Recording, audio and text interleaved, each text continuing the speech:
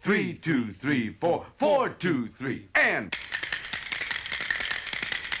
These men are pawns. I put a price of 20,000 dirham on their heads. Next, they will be hailed as the two messenger of God.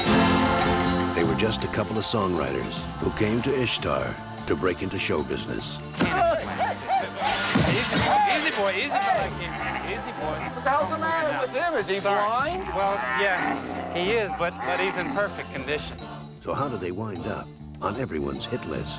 Your life is in danger. Behave normally. We have guns pointed at your back. No, don't put your hands up, you idiot. Oh, little darling.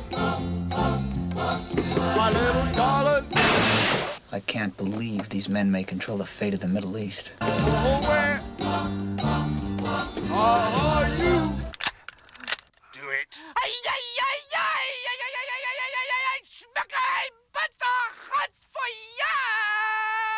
This is unbelievable. Knowing well That my lover. Are the two American messengers of God dead yet? Is this the oasis.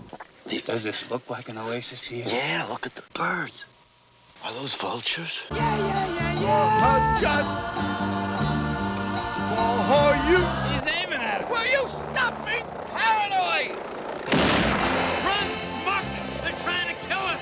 Warren Beatty, Dustin Hoffman, Isabelle Adjani, Your girl. How did she get to be your girl? I think they're wonderful. Ishtar, written and directed by Elaine May.